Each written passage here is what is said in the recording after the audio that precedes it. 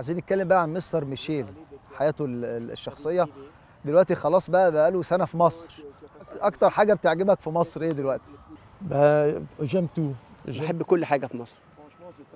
بصراحة مصر بلد أنا سعيد جدا أنا متأقلم جدا في البلد. أنا سعيد. بتناسبني بشكل كبير. مراتي وزوجتي وبنتي موجودين هنا بقالهم فترة وهيقعدوا. هيقعدوا فترة برضه طويلة. أعتقد أنا ابني برضه هيجي هينضم لنا هنا.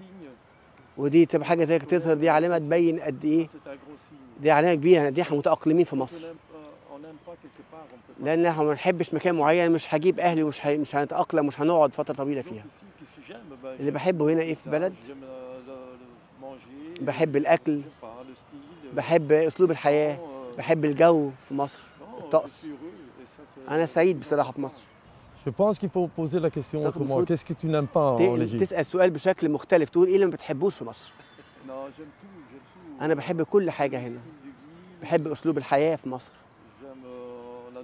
بحب الأكل. بحب سلوك الناس. بحب كل حاجة.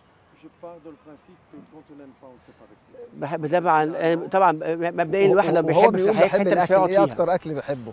كان لبلاك تو ام بلوس بحب الكبدة الكبده قوي بحب الكبدة هنا. الفراخ برضو بيعملوها بالطريقة المصريه بتبقى شكلها.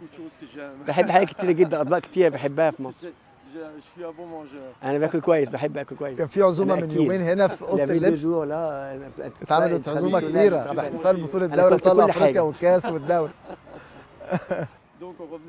نرجع تاني لمصر أنا سعيد جدا موجود في مصر اسرتي هنا موجوده بالنسبة عائلتي موجوده هنا بقالها شهر زوجتي وبنتي موجوده هنا وابني هينضم لنا يوم 26 هيجي بالنسبة لي مهم جدا إن أسرتي تبقى سعيدة بالاقامه وده صعب جدا إن هم مش هيبقى سعداء إلا لو هم مستريحين ولو مش حابين البلد مش هيقعدوا هم بيعشقوا البلد هنا في مصر.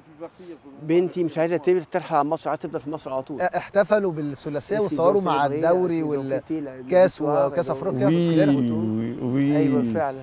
Ma fille, بنتي بنتي دلوقتي من مشجعين النادي. وابني برضو اتفرج على مباراة في- من بلجيكا وبعت لي رسالة هنا على طول بيقول لي وبعت لي صور. وهو بيتفرج على التلفزيون بيتفرج على الماتش وهو هناك في بلجيكا. وشفت إن هو بيتفرج على مباراة وبنتي بتتفرج على مباراة برضو بنتي الكبيره عندي بنت كبيرة هناك في بلجيكا. وابني في بلجيكا هناك بنت بنت ابني كبير عندي أربع أولاد. كانت سعاده عارمه بالنسبة لنا. بصراحه هي حاجة جو مجنون بصراحة. أنا كنت سعيد جدا. كانت كانت كانت سعادة وكانت مشاعر كبيرة. شفت أولادي لابسين فنية النادي الأهلي. وبيشجعوا. كنت حاسس كأنهم في استاد في استاد عندنا يعني خلاص بيشجعوا مش في بنعتبر العيله. دلوقتي خلاص عيله ميشيل بقت كلها أهلاوية دلوقتي. Oui, oui. J'avais, oui, ils avaient la pression. هو كان عندهم نفس الضغوط اللي كانت علينا بالظبط. كانهم كأنهم جماهير النادي. كان بيحطوا حطوا ضغوط فوق ضغوط عليا. لازم نكسب. كان حسيت إن هم جماهير. قالوا لازم تكسب لازم تكسب اللقب هنا ودي حاجة كويسة. فعلا ده جو جميل. ودي حاجة زي كده بتساعدني جدا أعمل شغل بشكل كبير.